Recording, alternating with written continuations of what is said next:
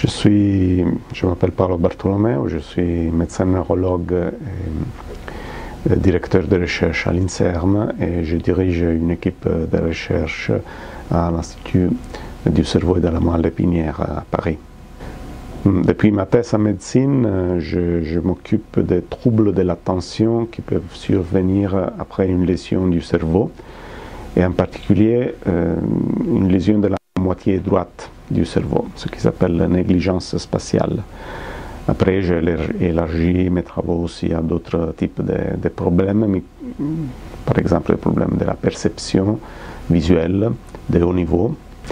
Oui, donc c'est un livre qui résume un peu mes intérêts sur, euh, les rapports entre les deux moitiés du cerveau, ce que l'on appelle les deux hémisphères. Hein. Il y a une moitié gauche et une moitié droite du cerveau.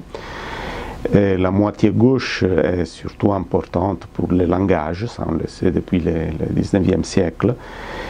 Euh, ce que fait la moitié droite du cerveau reste un peu plus mystérieux. Euh, ça a été étudié seulement plus récemment. On pensait que cette moitié droite était un peu l'hémisphère mineur, qui ne faisait pas en effet grand-chose par rapport à la moitié gauche dominante.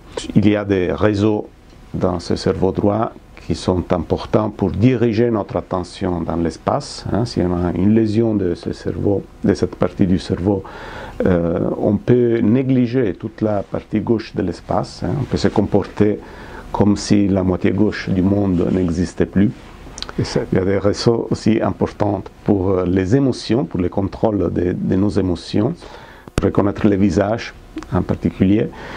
Et euh, aussi pour, euh, pour euh, nos fonctions d'empathie, pour se rendre compte de ce que les autres pensent.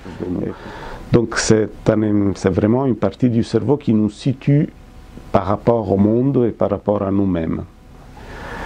Cela dit, il y a aussi des mythes qui, sont, qui ont été, disons, des idées euh, qui n'ont pas, pas de base scientifique sur les fonctions de l'hémisphère droit. Hein. En particulier, on trouve, euh, par exemple, dans Internet, euh, souvent l'idée que l'hémisphère droit, ça serait donc créatif, ça serait artistique par rapport à l'hémisphère gauche, qui lui, ça serait, il serait plutôt logique, mathématique, langagier.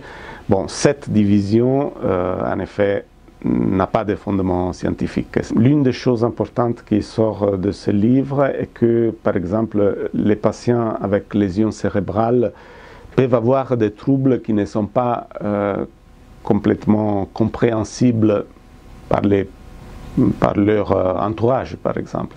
Il y a des patients qui ne reconnaissent plus les personnes à partir de leur visage.